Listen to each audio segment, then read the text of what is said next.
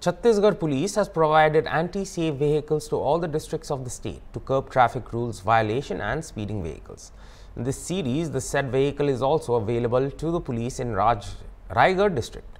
Superintendent of Police Divyang Patel said that there are many such points on National Highway 49 of Raigad where accidents often occurs due to speeding vehicles. This vehicle has a radar installed which measures the speed of the incoming vehicles and the challan is automatically issued and appears on WhatsApp.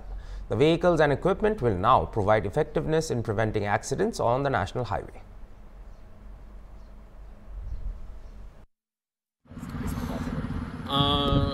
Chhattisgarh police के द्वारा सभी जिलों को interceptor गाड़ी प्रदाय किया गया है।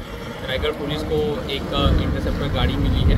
इंटरसेप्टर गाड़ी में विशेष सुविधा ये है कि वो रडार सिस्टम युक्त है, जिसमें सामने से जो भी गाड़ी आती है, उसकी स्पीड उससे डिटेक्ट होती है। स्पीड डिटेक्ट होने के बाद उसमें ऑटोमेटिक चालान जनरेट हो जाता है और ऑटोमेटिक चालान व्हाट्सअप पे आ जाता है। जिससे हमारे पास विथ एविडेंस रहता है कि आपकी गाड़ी ओवर स्पीड थी और उसके आधार पे जो भी नेशनल हाईवे पे ओवर स्पीड गाड़ियाँ होती है, उसके खिलाफ आज चलानी कार्रवाई की जा रही है। नेशनल हाईवे पे हम देखें तो काफ़ी लोकेशन ऐसी है जिसमें ओवर स्पीडिंग के द्वारा लगातार एक्सीडेंट होते रहते हैं और कई लोगों की जान भी गई है।